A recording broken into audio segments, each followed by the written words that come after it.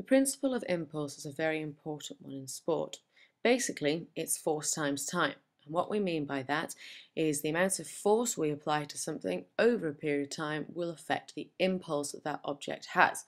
And that in turn affects its momentum. So if we watch Mr. Bullen hitting the ball just here, we can see that he applies a large force to the ball over an extended period of time. This is why we see athletes follow through with their swing or kick, and that's so they can gain a greater amount of impulse. That gives the ball more momentum, meaning it's going to travel quicker to its destination, hopefully beating its opponent.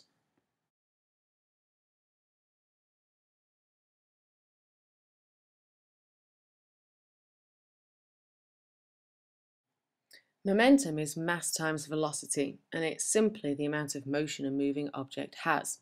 So if something is very heavy and it's travelling quickly, it has a large amount of momentum. Think about a massive, great big articulated lorry, for example, travelling at 100 kilometres an hour. Has an awful lot of momentum and therefore has a lot of trouble stopping. In sport, we see momentum when we hit something or kick something or throw a ball we have to apply the velocity through it to it through force because we can't alter the mass of something during a competition. So the harder we hit something, the greater velocity it will have, and therefore the more momentum it has. And we can even link this to Newton's second law, which is force is mass times acceleration.